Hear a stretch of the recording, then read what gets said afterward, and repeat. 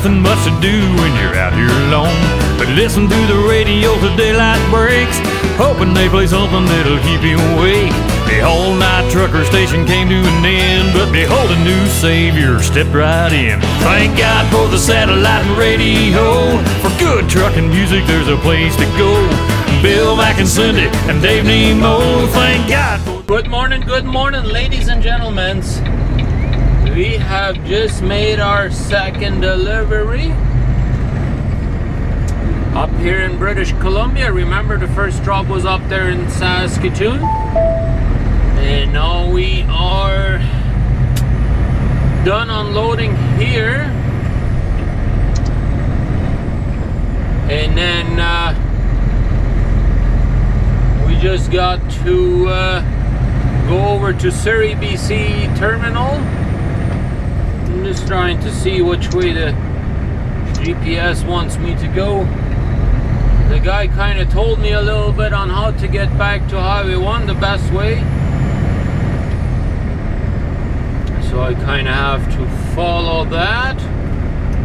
Um, yeah, I gotta, I gotta go this way, I think. Yeah.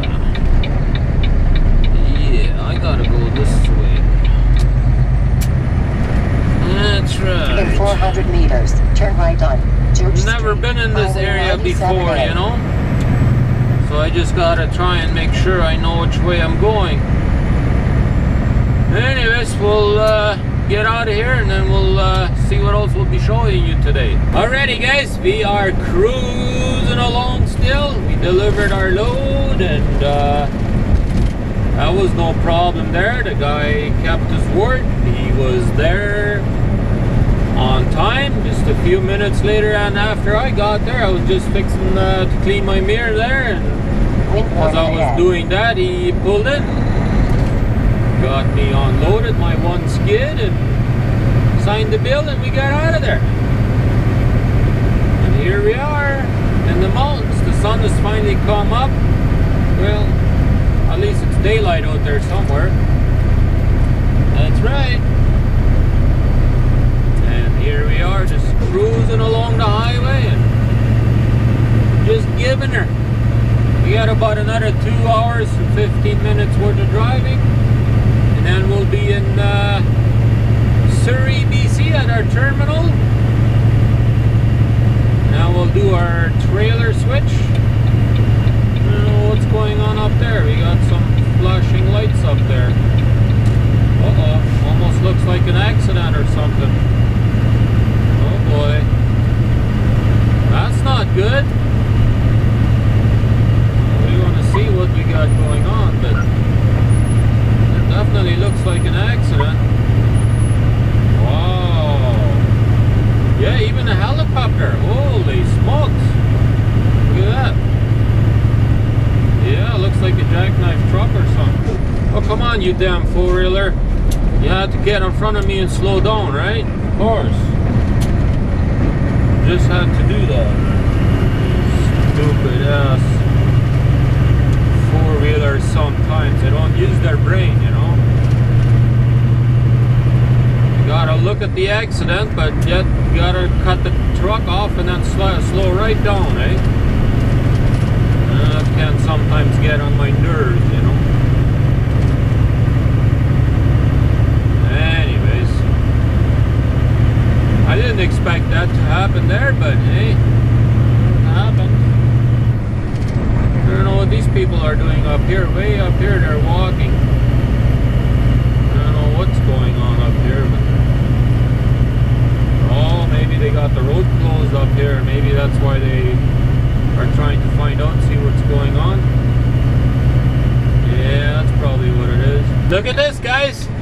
The roads are a little bit icy. Well, I don't know if really icy, but it's a little bit snow that's been driven over so many times. It's a little snow packed or whatever you want to call it.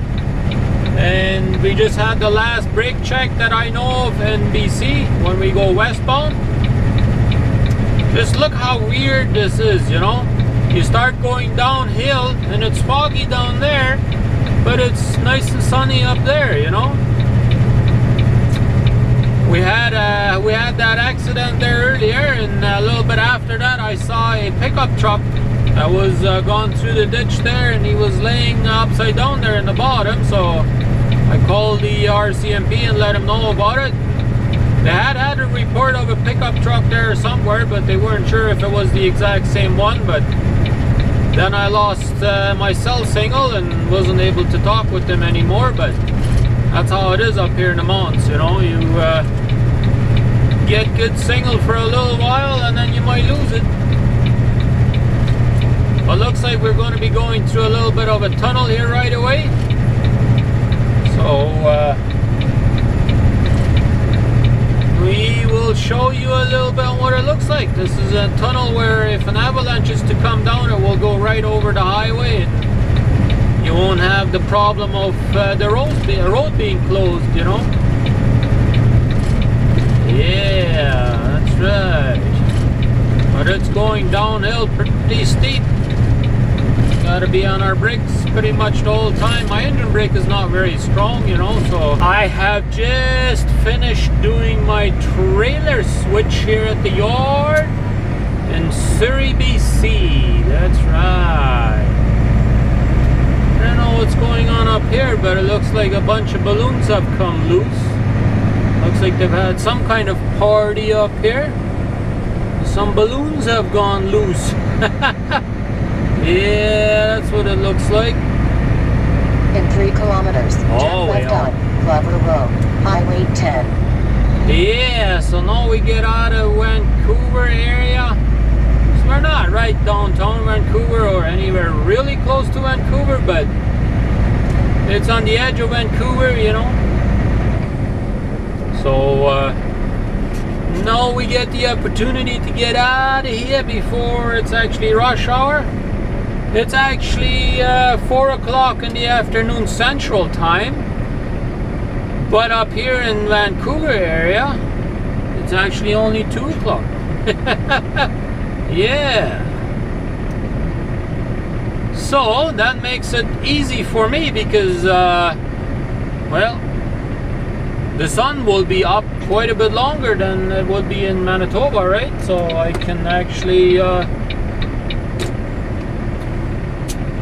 I can actually drive quite a bit later. I'm just gonna go move into this lane here because it looks like it might be a little tough further down the road to get into this lane because I gotta make a left hand turn here in two kilometers. So uh, figured I may as well just start getting into this lane and that way we're good to go, right?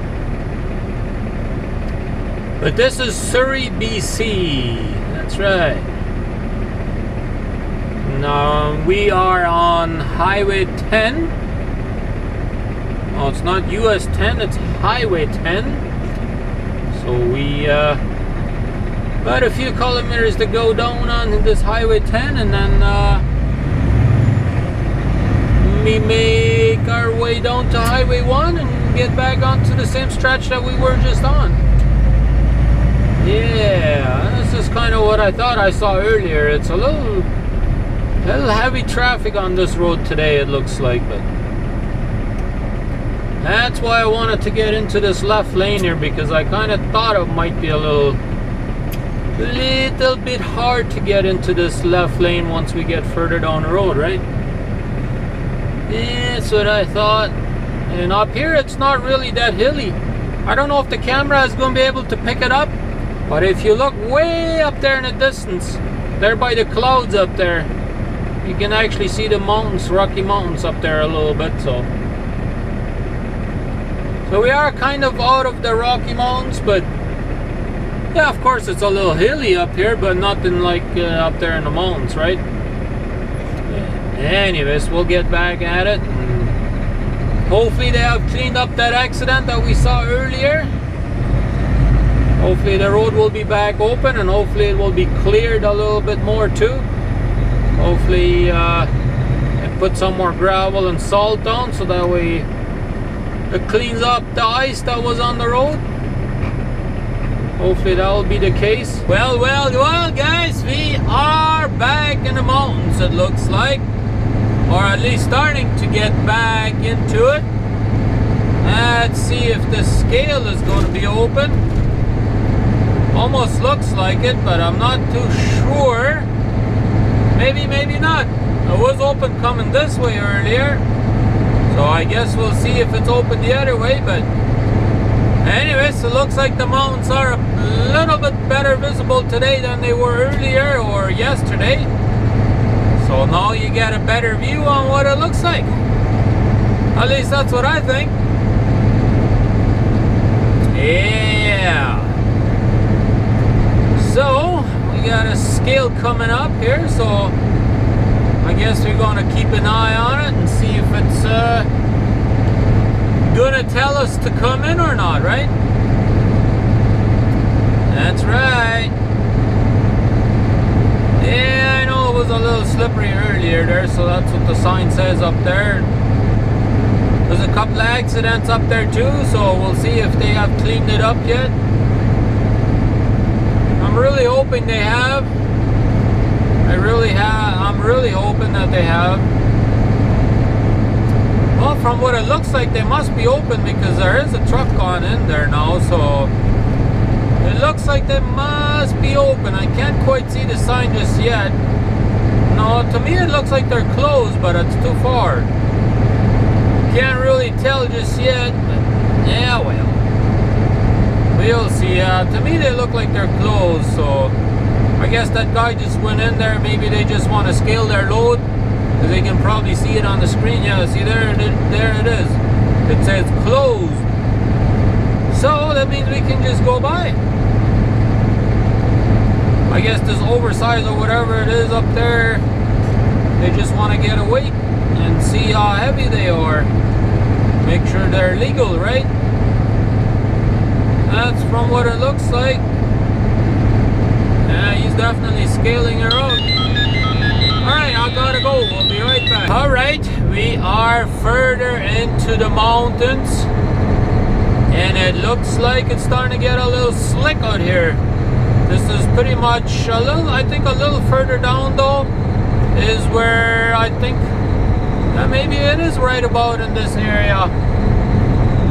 Yeah, I might be right in about this area where uh, I saw that four-wheeler pickup truck on that side in the ditch. But it was on a straight stretch.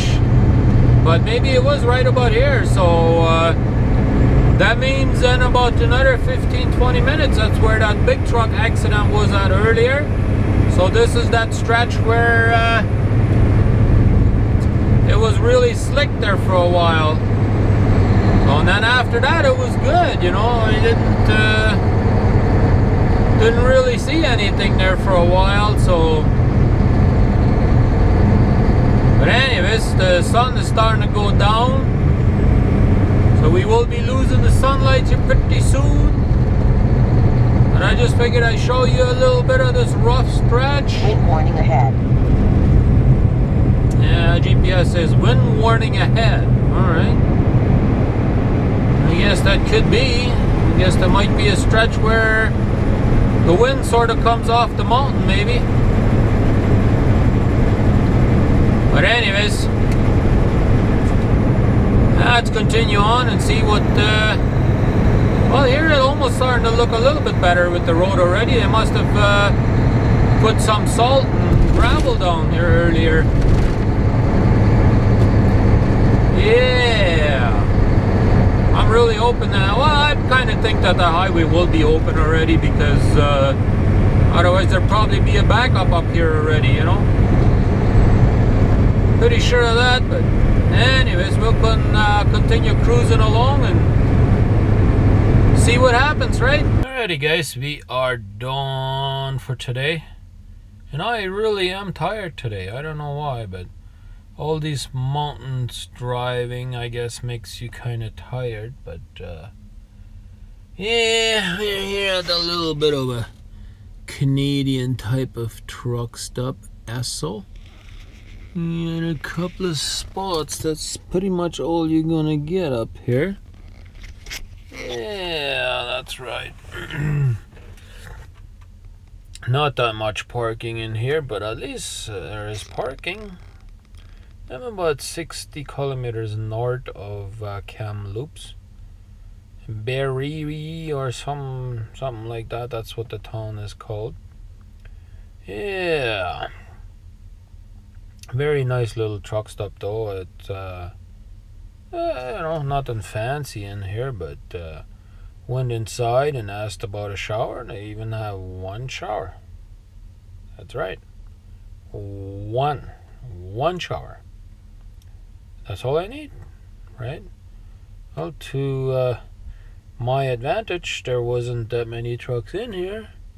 Nobody else is taking a shower, so I could get a shower right away. So we got us a good shower. Now we're ready for bed.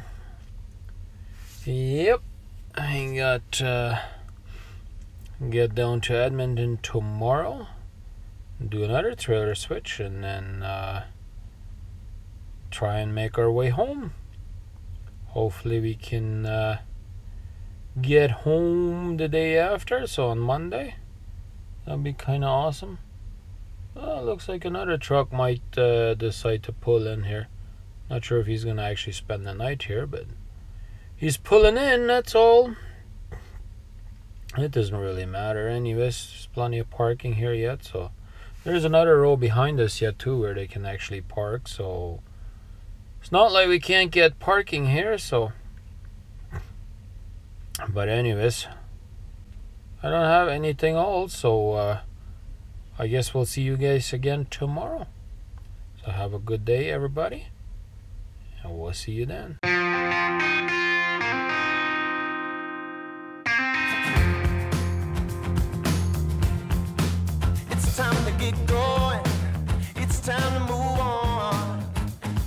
Behind